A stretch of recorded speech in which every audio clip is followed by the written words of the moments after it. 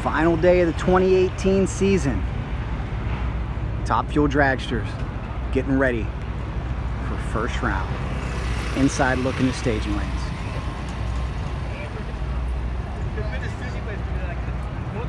Like, the like.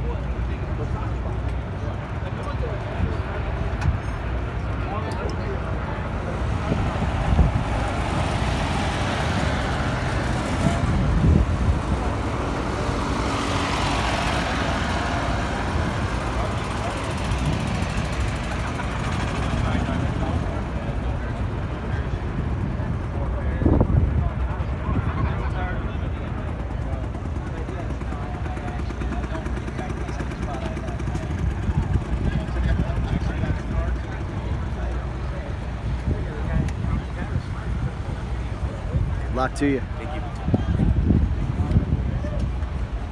A lot of nervous excitement in the lanes in preparation of first round.